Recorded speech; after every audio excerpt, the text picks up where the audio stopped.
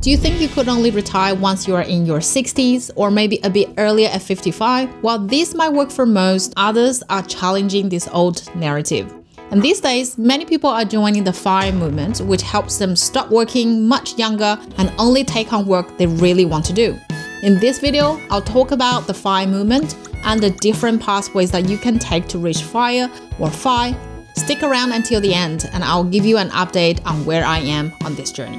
FIRE, which stands for Financial Independence Retire Early, shows you how to live well while using less of the world's resources and saving much more of your income so you ultimately only work if you want to. It's all about having financial flexibility and ultimate time flexibility. The FIRE movement started in 1992 when authors Vicki and Joe introduced the concept in their book your Money or Your Life. The book challenges readers to think about their money and values what they are willing to trade in their lives to pursue more money. Retirement just means, in, in the new definition, that you have a choice. It's less about retiring and more about having the freedom to not have to rely on a job for money. Really about thinking about the kind of life that you want and seeing your money as a tool to enable that vision to come to life. The essence of the FIRE movement comes down to three main strategies.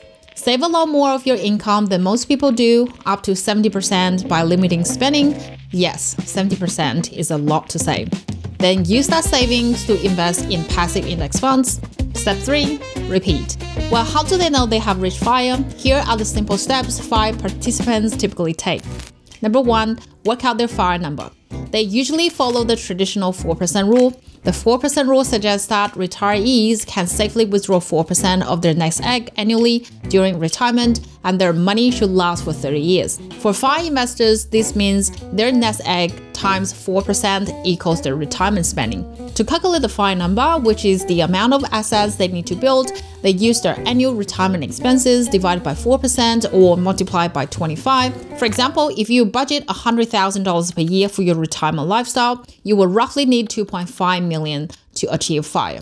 However, in a recent video, I questioned this rule of thumb and concluded that the 4% rule originally designed for a traditional retirement at age 60 might not suit early retirees who have a 40 to 50 year retirement horizon. If you want to explore various online calculators that can help you work out your FIRE number and run different Monte Carlo simulations to see if your egg will deplete prematurely, you can check out this video. Step two is save and invest.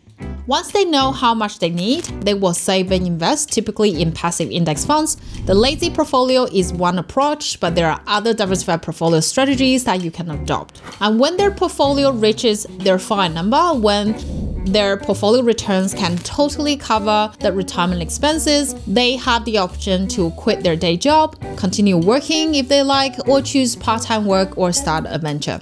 It's entirely up to them. Let's talk about a quicker way to figure out how many years it might take to reach FIRE. We'll simplify things and assume your current yearly expenses will be the same as your retirement spending. This method comes from Mr. Money Mustache, a popular figure in FIRE community. If you haven't heard of him, Mr. Money Mustache is Peter Adeney, a Canadian engineer who retired at 30 with 600,000 in investments and a mortgage-free house. Remember that 70% savings rate that we just mentioned earlier? If you can save 70% of your income and invest it, you could retire in just eight and a half years. Pretty cool, right? Now, let's see how different countries stack up with their average household savings rates using the latest data from the OECD.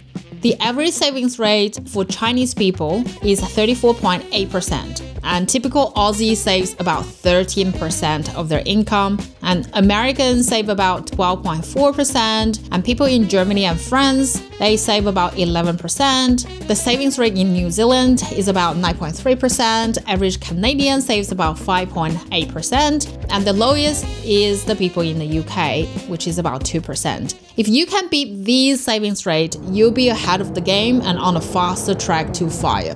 But of course, with the high cost of living and mortgage rates, it's not always easy. Still, every bit of extra savings gets you closer to financial freedom.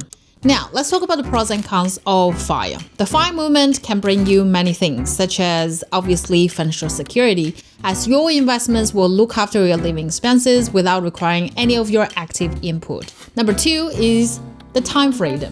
Once you achieve FIRE, you get to decide how you spend your days, and that includes working as well. You will be more likely less stressed. Say goodbye to a job that you don't like, early wake ups, and a long commute. All of these can improve your mental health. But the FIRE movement isn't all rainbows and sunshine. If you underestimate your FIRE number, you could face unexpected healthcare costs or market downturns leading to a shortfall in funds well, you can always find a job, but it's a risk to consider. And FIRE movement is not for everyone. For those living paycheck to paycheck with little room for saving, the goal of FIRE can feel very unattainable. It also requires a willingness to cut unnecessary spending. So far, we've discussed the standard path to FIRE, which is essentially retiring as soon as possible. But there are many other approaches which we'll dive into below. The average household spends about 74,100 per year in both in the US and Australia. So for traditional FIRE, you need around 1.8 million saved up. Another route to FIRE is called coast FIRE. This is when you have enough in your retirement accounts that without any additional contributions, your net worth will grow to support you at a traditional retirement age. In other words, you can coast into retirement. And people pursuing coast fire typically still work to cover their current costs, but don't need to save more for retirement. Once your net worth hits the coast fire milestone, you can either indulge yourself with your surplus income or take on a less stressful job. For example, if you save $182,000 by age 30, your portfolio can grow to 1 million by age 65 with a 5% annual return after inflation without adding more. Or you can consider barista fire. Barista Fire is for those who don't plan to retire early but want to work less demanding or part time jobs. The term barista comes from the idea that a job at Starbucks could provide enough extra income, plus, they offer medical insurance for part time workers. With Barista Fire, your portfolio partially supports you and you work part time to cover the rest. To calculate your barista fire number, figure out how much you earn from your part time job and subtract it from your annual living expenses for example, if your living costs are $50,000 and you earn 15,000 from a part-time job, you would need $35,000 per year, 35,000 by 25 and you'll get 875,000. Or if you plan to have lower than average expenses in retirement, consider lean fire. This strategy is for Minimalists who live frugally before and during retirement, can you live on half the average household spending of $74,100 a year? If so, your lean fire number would be 900,000. Lean fire is the fastest way to retire early as long as you're willing to live frugally. Or if you dream of lavish vacations, lots of dining out, and shopping in retirement, Fat Fire might be your goal. It requires saving and investing aggressively so you don't have to limit your spending in retirement. It's challenging since you are aiming for a high annual expenditure, but it can be the most rewarding. A typical fat fire number is 2.5 million with a $100,000 annual budget. It's the hardest level of fire to achieve, but arguably the most fun. Okay, let's get into the nitty gritty. How about you, Irene? Since your channel focuses on personal finance, investing, and fire, you might be wondering which path I am taking.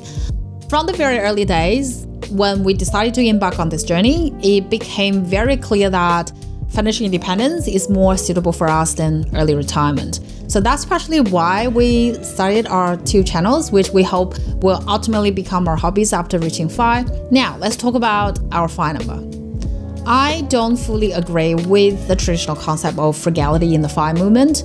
I do believe in not consuming materialistic things to impress others, but why take the fun out of retirement by lowering the retirement budget? The thing is, if you still have to be frugal during retirement, you're not really eliminating the stress you experience while working. So, by having a bigger budget during retirement, you can outsource errands and focus on activities you truly enjoy.